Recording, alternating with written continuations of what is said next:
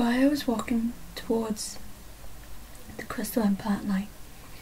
The winds were howling, and he could hear every creature around him snarling and alerting others.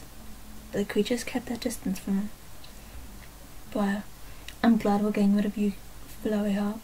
Anyway, you are the key after all. Briar kept marching through the snow, but out of nowhere a snowstorm hit them. Briar, blast! I'm going to be a tad late meeting Sunburst at the front gates. As Briar got up to start walking again, he started to remember conversation with Midnight a couple of hours before heading out. Briar, so remind me again, Auntie, why are we giving up Flurry Heart? Why are we giving Flurry Heart back to her family after you made a deal with Cadance? Midnight. Oh, the reason is the prophecy Cadance told me is because I created that prophecy. Well, Corruptor created it before the Empire disappeared. Except I changed it around a bit. What was actually written was the daughter of Mi Amore Cadenza will become the Shattered Princess on her 16th birthday. Why, wouldn't her family be able to stop her becoming shattered? Midnight sips her blood wine. Oh, oh no. This curse is very powerful. Even if a family wants to stop it, the curse blocks out all magic, even hers. There's no way of stopping it. Corruptor's shadow slithered towards the sleeping Flurry Heart and Briar. Corruptor. Well, think about it, Briar. The crystal empire runs on hope and love. Now, think what will happen when despair and negativity will bring. Briar. Darkness. But wouldn't the crystal heart protect the empire and the ponies?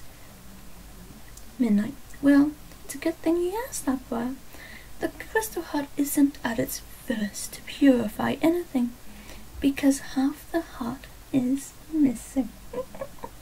Midnight gave her nephew a smile. Briar. How is that possible? Wouldn't the crystal ponies know half of it's missing? Corruptor. No, they wouldn't. We had some help from a shadow and an ancient dragon. So, that's all you need to know. You better hurry now. Sunburst is waiting for you at the Crystal Empire.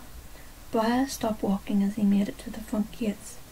Sunburst was holding the heart-shaped parcel. Briar. Hello, Sunburst. Sunburst. Hello, Prince Briar Thorn. And it looks like Midnight kept her side of the deal for the trade.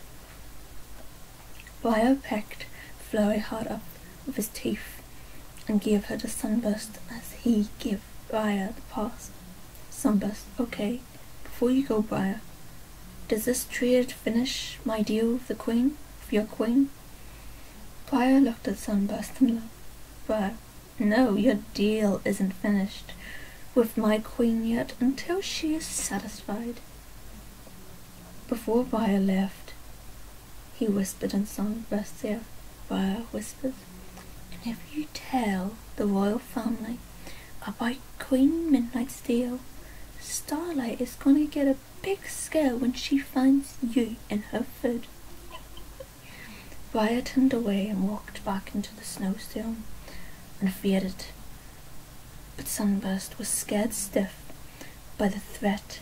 He slowly walked back up to the castle to see Cadance in shining armour crying their eyes out as they seen Flurry Heart.